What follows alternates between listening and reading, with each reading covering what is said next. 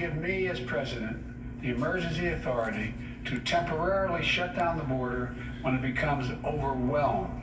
The numbers are talking over 5,000 people trying to get in one day.